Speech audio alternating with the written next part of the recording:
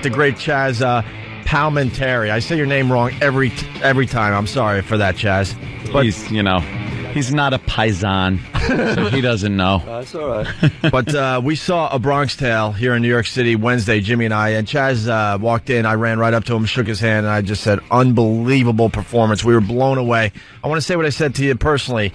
I, I never saw a standing ovation uh, happen faster in my life. I go to the theater every once in a while or whatever, but you know, I, I, I was saying sometimes you're in a theater and you're not sure if you should stand up for the performance, and then maybe one person stands up and gets it going, and then the momentum starts. Exactly right. When that play ended on Wednesday, it wasn't even a question. Everyone just stood up at the same time and just gave you a standing ovation, and Well, that had to feel good. It, it does feel it feels great. It feels great, OP. It, you know, it's been happening every night, so I'm real excited that the people are really responding this way. It's because it's an amazing thing to go up there by yourself for uh, over an hour and a half and uh, put on a performance like that. Uh, the, if the people don't appreciate that, they're crazy. That's why you get that standing ovation instantly. It's just an amazing thing. Yeah, it's just Chazz. It's uh, the set is very very simple. There's not much going on with this. No, the, we the didn't- set. You got the street corner, you the got the stoop, corner. you got the bar, Right. and that's about it. It's That's all about it. All it's the rest is in my mind and in my imagination that I make the people see. That's what. That's the idea of that. The amazing thing is, though, is there's not one moment where you feel like you're watching somebody act. It was really depressing to watch. Like it was so good. it was like you, there's one scene where you point, like you're, you're saying, ah, this is where the. Uh, the, the candy store used to be or something like you're gesturing and it's just part of the stage curtain and you don't feel like somebody is gesturing to a stage curtain you feel like a guy's just walking you through his old neighborhood and i know if i did it i would be like and this is where the thing is it would just be awful and it was just amazing to watch a guy tell a story so seamlessly for an hour and a half. It really was. It was beautiful. Yeah, Well, I appreciate that. And uh, one other thing before we get into the actual play, uh, just before it started, I, I ran up to where Jimmy was sitting. I go, they should have had a metal detector for this joint, man. A lot of wise guys coming out to see you there, you get, Chazz. you get a, I looked around. I didn't feel too comfortable. Certain clientele, maybe, that uh, enjoys. Uh, Yeah, there's a watches certain his work. clientele that comes down and sees uh, some guys from my old neighborhood came to see the play, and it was pretty exciting. No, they really liked it. It was like the wedding in the original Godfather. They all just showed up. right, right. Now, how did, how did this come about? Because obviously you, you did this before the movie, Right. and then the movie was based on your one man was show. based on this play. Yes, and uh, right. so, how, how did this come about now to uh, come back and, and do it again? Well, I thought about doing it again. You know, I've been thinking about it for a long time. And then I, I said, you know what? I'm young enough to still do it because it is like a marathon. And I said, I think I should still do it, you know, because I really wanted to, the, the message that it gave the young kids, the young people about the saddest thing in life is wasted talent. And so many people have seen the movie and said, you know, I saw that film. It changed my life. Or, or a guy said, my, you know, my son saw the film. I, t- I took him to see it. And, you know, he was fooling around with drugs, but he realizes now he don't want to waste his life. So it really, it, it had an impact on people. And I knew that the play even has a stronger impact when you see it in person. So I said, you know, I still want to, I want that message to get out there. I want to do it again. And what better place to do it on a world stage than on Broadway? And Yeah. I decided to do it. And it's true that like uh, you, you it, it's uh, people know it's the story of uh, Chazz and and, and uh, the gangster Sonny. Yes. And uh, De Niro, I think what it was. This story is that he wanted to play uh, a Sonny, and you said no. No, no, no, that's not true. No, I know a lot of people have said that, but that's a, that's a misconception.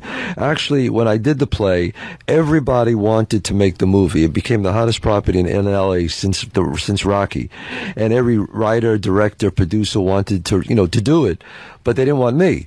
They wanted a star in that role. And so I said, look, I got two conditions. I play Sonny and I write the screenplay. And they said, it's not going to happen. I mean, they offered me uh, like 250000 and I said no. And I, I didn't have no money at the time. I said, I didn't care. I said, I play and I write it. And they said no. Uh, but in Hollywood, when you say no, it means, he really means he wants more money. You know, I, I know what he, I know what he's saying. So uh, then about a month later, they offered me half a million dollars doubled it. And again, I said, "Do I?" And they said, "No." I said, "Forget it." So uh, about. I would say a few months later, I was with William Morris. Then I signed with William Morris at the time, and they called me in and they offered me. Um, I went in and I sat down, and the guy put a piece of paper across the table, and he said, "Sign that piece of paper. You have a check for one million dollars tomorrow." And I looked at him, I swear to God, and I said, Is there a bathroom around here? And he said, What? I said, uh, uh, Is there a bathroom? He said, Yeah, right over there. And I walked into the bathroom. I'll never forget it. I walked into the bathroom, and, and they were all waiting in the, in the big conference room. And I looked in the mirror, and I, I had some water, put it on my face. I looked, and I went, Nah. I really said something else, you know. yeah, yeah. He just, he just what I mouthed really what he said. really said. Um, Uh, you know- I think they can figure it out out yeah, there. and I said, nah. I said, I'm playing it, and I'm gonna. And I walked back out, and I said, look, I'll sign that paper, but I write the screenplay, and I play Sonny. And they said, he just looked at me, and said, the movie will never happen, Chazz. And I said, it, you probably won't with you, but it'll happen. And he said, why is that? I said, because it's too good. And I went back and I started doing the play again, and then Robert De Niro saw it, and uh, he came backstage and said, "Look, I know the insanity that's going around in Hollywood that you want to play Sonny and you want to write the screenplay. I'll tell you my feelings." He says, "I think you'll be great as Sonny, and you should write the screenplay because it's about you." He goes, "I'll play Lorenzo, I'll direct it, and if you shake my hand, that's the way it will be." Wow. I shook his hand, and that's the way it was. It would have been funny if you made De Niro read for it. oh, please, oh. you ass. you and Jimmy have someone in common, uh, De Niro, and the only reason I bring this up because it made the paper today. Uh, being you know turned down for a picture with De Niro made uh, the post today. By the way, Yeah, you I'm should not- tell Chazz to his face. I, I don't want to embarrass you. I, just, I'm, an, I, De Niro was very nice. He was nice about it. He was very pleasant, but I asked him for an autograph, and I, I just, a picture, I tapped his arm. I'm like, Bob, I called him Bob, that he would think I knew him. Because I'm like, he's so famous, he won't realize I'm a nobody. He'll think we did a gig together. And uh, he looked at me, I'm like, can I have a picture? And he goes, no. All right, um, but he was very pleasant. He wasn't being a jerk. He's like, ah, if I take one, a lot of people will ask. I just want to go say hi to Billy because he was talking to Billy Crystal, and it was just, Yeah. you know, it was we, just. we bring it up today because it made page six in yeah, the I post. told the story. No, but but, but Bob, let me Just tell you wanna something. embarrass He- Jimmy in front of a He's really great a great actor. guy, but he is right about that. If Yeah. you take one picture, Yeah. you're done. You're dead. That's it. So I do understand what Well, I wanted to saying. Spend tell him, look, I've talked to everyone. They won't bother you. They've elected me the lucky boy. and obviously, Dov Davidoff uh, is a buddy of mine, a very funny comic. Uh, he knows. I know well. very well. He's very funny. And uh, you know, we did a Chaz Brothers. Remember, we did a table read uh, a long time ago. Uh, it was for the it was it was for the '50s comedy. Uh, it was uh, with the guy from uh, Second City. Second TV. City. That's right. Yes. And that's uh, right. I, I, uh, Oh, I love watching you stumble over trying to get Chazz Palminteri to remember No, he you. doesn't remember. No. I do remember. I was I so bad he blocked it out like a childhood episode. I don't. I don't blame him. It was terrible. The play was good, but I was just like, He's like uh, I was so nervous. That takes uh, that takes a lot of um, uh, a lot of uh, uh, personal confidence to turn down that much money when you're you're broke, like you're saying, uh, to stick to what you believe in. Right. And, I, I guess obviously you believed so much in this story. Yes. Uh, to not take that money. I just believe that because you know what it was. Everybody wanted to make it, Anthony. Everybody. I mean, it was like insane, and I knew sooner or later somebody would step up to the table. If you know, if there's that much of a frenzy Right. over it, it's not just going to it's get not going to brushed go away. under the And I- carpet. I, mean, right. there's always a chance, but you know what? I always believe in divine intervention, and I'm a very spiritual person. I just said, you know what? It'll be okay. I'm going to do this. I feel it, and I did it. and you can't picture anybody else in that role uh, but you. Well, well, I you re- you really can't. Whether you see the play or watch the movie, it's just that that is you. Yes. That's your role. It was my role, and I knew that, and I said, "This is my ticket," and, you know. Mm-hmm. And then, you know, when I did that, and then Bullets, and then Usual Suspects, and then I never looked back after that. Yeah. yeah. You know what's fun about Great watching movies. the play?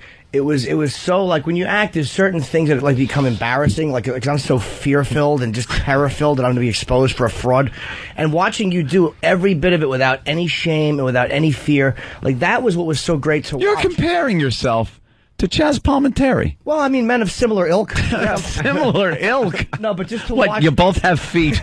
No, I mean, I, I look at a stand-up comic and I go, "Oh my God, please!" You know, that's like insane. That you is know? I mean, frightening. that's frightening. Yeah. I mean, I look at what you do, and that's to me. I go, "Oh no way!" You know. But you see, what I do is I get on stage and I hide behind characters, and I just do all these characters. But that's a whole nother thing. That Well, when you were playing the nine-year-old, Yeah. and then talking to Sonny, I'm like, how is he doing this? And it was so believable. It was never. There was not one cheesy moment with like you would play different guys, and you never felt like he's well, like like Ope thinks that he's not turning around and then turning around, making another face at you. It was just like a flawless interaction between three, four people, a father, Yeah. a son, and it was just it was perfect, man. I, I we yeah. Yeah. we were talking about Thank that. you. We just we've been talking about it ever since we saw it, and Yeah.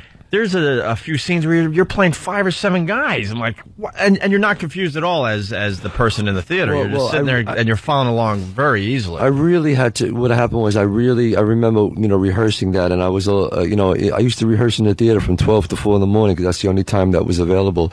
And I remember hours and hours of doing that, hours of just constantly because you had to be really clear, because, like you said, you have to make people know who's talking at what time. So I would just constantly, and I was, I couldn't get it, and I kept trying. Then finally. I found the rhythm and I, I got it and I just rehearsed and rehearsed and rehearsed. I mean, this is not, you know, I always tell people, people, kids come and, and the actors come and they say, how did you, how did you write that? And I go, wait a minute, look, don't think I just sat down and wrote this. Mm-hmm. I wrote a 10 minute piece and then I did, I performed it for my workshop. I did a workshop and then I wrote more and out of that 10 minutes I took six. Out of another 20 minutes I wrote, I took three and I kept mm-hmm. shaping it and shaping it till finally after almost a year, I had 95 minutes of this show and a year of rehearsing it constant every day, six days, hours a week and said, okay, now I'm going to like try to explode with this thing. So it was a lot of hard work involved here. And in the in the movie, people most people have seen the film and seen and seen and now we've seen the play. You uh, uh, it's about part of it is where you, you meet a black girl and you guys Right. like each other and it's a very weird time to be doing that. And I had to ask, whatever happened with her? I mean, that was like a big question I had after the film. Did Yeah, a lot of people have always said that to me, Jimmy. But no, I, I we just, you know, we were together for a few months, and then you're 16, 17, and then it just kind of, Doesn't when you're that age, you don't break up. It just goes away. Yeah, you move on to the next Goes one. away. Yeah, you just move on to the next To the next you know? uh, conquest. After putting putting so much work into the the play um, before the movie, Right. Because you're saying, you know, it's six minutes here, and then you take ten minutes into. Uh, were you happy with the way the, the movie came out with the direction Oh, and the God, yes, yeah, the casting and I, everything? I always said that I was blessed to get Robert De Niro to, to do Mm-hmm. this because he was the perfect director. Because he said to me, I'll never forget it. He says, "You know, you can do this with a lot of people, Chazz." He goes, "But if you make it with me, I'll make it right." And you know what? He made it right, and I wouldn't change a frame. Yeah. he did a tremendous, tremendous job.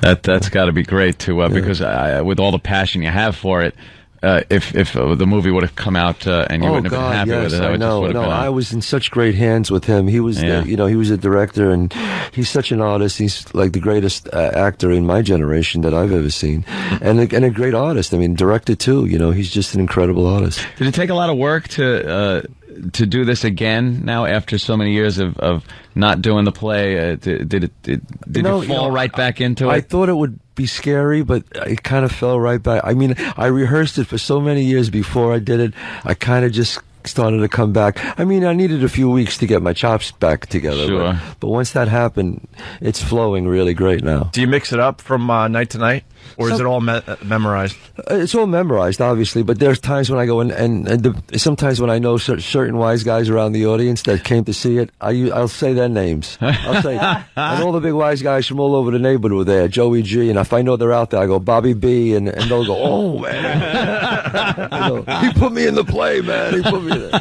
Meanwhile, every night I'm seeing different guys. You would think they would stand up and go, Shh. Oh no, they get a kick out They of all it. love it, right? Oh hell yeah! Of course it. they do. It was really, it was really amazing, an amazing story. It's like uh, to me to be able to entertain a room full of wise guys, as well as like square guys like myself and old people, like to tell one story and have everybody captivated and everybody feeling emotion at the same moments and everybody laughing at the same moments. Because you talk about stand up, there was some really funny lines in it, which were delivered perfectly, which annoyed me. I was like, ah, maybe he'll trip on the jokes. You know, that always made me feel a little bit better about myself. But every line was delivered. He's such a bastard, man. flawless. But it was just the jokes were great. I mean, when they were I- there, they belonged, and uh, that's what I liked about it. Is everybody just loved it for the same reason. And I got to embarrass Thank you. Jimmy. Uh, he had a tear in his eye chest. Well, it was just watching. He really did. so good at acting. Just to watch someone so good at it, it, it was just you know, it was like uh, just really amazing to go. And Yeah. Well, well, I think with the pieces, with what's what people are responding to is it's it's really. I mean, the the play is much much funnier than the movie. It's very funny, but it's also it, it, it has a it's got a lot of heart, and you really feel it at the end. you know? I'm not going to Yeah. give away the way the play is done because even though it tells the same story as the movie, there's a couple of things that you don't see coming in the play. But uh, there's there's just one part that, that let's just say that the noise drops out of, right. and it gets quiet, and it's just it was beautiful. Oh, well, thanks a lot. I appreciate that. Did you have any any uh, differences? Did you have feel you had to change uh, something from uh, before the movie till after the movie? Now that you're doing it because of the movie, did you feel you had to change a, a, few that's things? a very good question. Uh, you know, Jerry Zaks is directing it. You know, Jerry Zaks has been nominated for eight, eight Tonys, won four of them. A, a brilliant director, and I was in such great hands with him in the play. And I, I have to bring him up because he really knows funny, and what he did with, and that's why this version of the play is actually better than the original version because he really was very seamless in his direction and having me really make changes and saying, okay, you know, you could slow down here. We don't have to go so fast. Trust it, trust it, Chazz. And his direction with the lights and Paul Gallo on the lights and uh, John Gromada on the sound and music. Uh, he put a great team together, and he knows funny. Certain directors know funny. You know how that is, Jim. You know, either you know funny or you don't know funny. This guy knows funny, and he would say, "Take a little more pause there. It's funnier." And I would take a pause there, and sure enough, boom, hit the people laughing. I go, "Look at that!" You know, you know, say, you know, you know, that's that's funnier, Chazz. You don't have to rush that. And I would hold it back and and yeah, it was funnier, you know. So, uh, uh, you know, it's it's a teamwork. You know, I'm in great hands with gu- with people like that. It had a lot of callbacks in it too. I noticed, like the joke callbacks, which was just you know like just explaining guys from the neighborhood, um, or you know, guy Sonny constantly telling people to throw this guy in the bathroom, Right. and it just was a great callback throughout the entire Yeah. play. And yeah, and it got a laugh every time. Mush. Well, you know how it is. If it keeps getting a laugh, call it back. you know, call I, it back. I do believe me, and I'll do like eight more until it finally like Yeah. once the laugh dies, I just keep going. Uh, now, Send a message.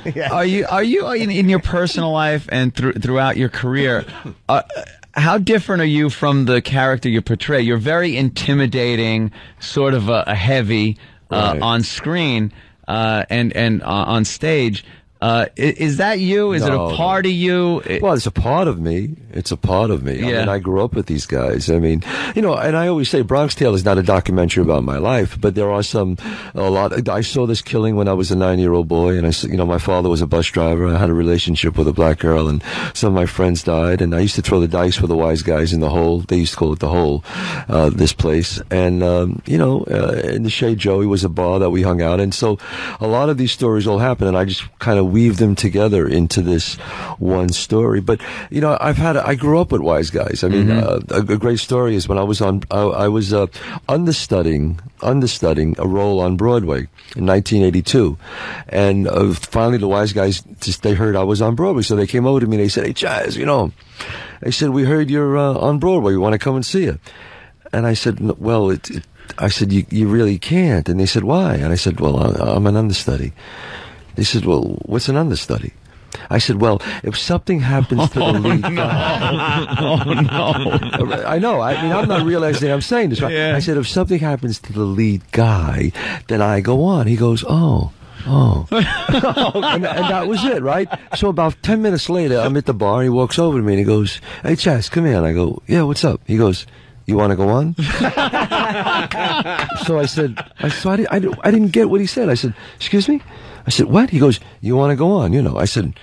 What? He goes, you know, you want to go on? We'll take care of the thing. He goes, we'll make it look like a mugging. I said, no. I said, oh my God, no. He goes, no, we'll put him in a hospital one week, two weeks. I said, no weeks. No weeks. Don't do this. I was so scared. Oh, and then finally, but you know what was funny? So night, uh, that night when I, when I, you know, as an understudy, you watch the show from the back, and I'm watching the show, and I'm looking at this lead guy who had the lead part, and he was a real a hole, if you know what I mean. And I'm looking at him, I said, "You don't know how close you yeah, You don't my know. life was in your hands, uh, said, or you the don't other way know. Around. was in my hands. Well, you know, they don't get it. These guys. Uh, we definitely have to take a break here. Uh, basically, what we're trying to tell everybody is A Bronx Tale is great on Broadway. oh, thanks. I'd never seen a one man show before. I mean, I've seen a couple of plays, and just it, it was so much better than I ever would have thought a one man show could be. It was so good, man. And we want to get some of the younger people in there. I, Yeah. I, I felt really young in that theater on Wednesday. Oh, And I really think the younger people should uh, try to make plans and see this play on Yeah, Broadway. because a lot of people think they're going to relate to it just because it's like from uh, people who grew up in that era. Like, you know what I mean? From the Right. 60s. A, and a lot of people see it from all over the world, different countries, and they love it. So it's got universal themes. That's what's important. My girlfriend loved it, and she's a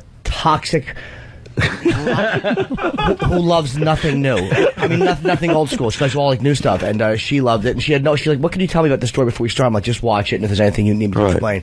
And, and she loved this. So it was Oh, great. great. Thank glad Hey, you know what else? Thanks for uh, thanks for not taking the money because listening to you tell that story. I mean, really, people aren't just clapping for your performance. You you took risk, and you know, in your line of work in your business, everybody's faced with that kind of Sure. call every day, and you took the risk. The and big that's huge, decision, the crossroad, you know? Right. Well, it was one of those times, you know. I just said, well, it's either now. That's why I went into the bathroom. I had to be alone for a while, and I said, nope. You know, and my father wrote on this card, "The saddest thing in life is wasted talent." When I was nine years old, and he put it in my room, and I had that card with me in the bathroom, and I just looked at it. I kept it all these years, and I looked at it, and I just put it back in my pocket, and I said, "Nah, not doing it." I went out and I said, "I said I, I play it," and they said no, and I walked out. That was kept all those years for that I moment. still have it. I yeah. gave, and I gave it to my son now. We really, Wow. we really got to to take a Fantastic. We got to take a break. Got to get the big plug. All right, in here. yeah, absolutely. It's the Walter Kerr Theater here in New York City, uh, 48th Street between Broadway and 8th. Uh, tickets 212-239-6900. You're going to be doing this until February? February I'm, 10th. I'm hearing February It's a 10th. limited run till February 10th. Very good. Uh, Okay. It's Chazz, everyone. Chazz Palminteri, Yeah, thank you. Thank you, guys. Thank you so much. Thank you. All right, we'll be back with Mike Rowe from Dirty Talk.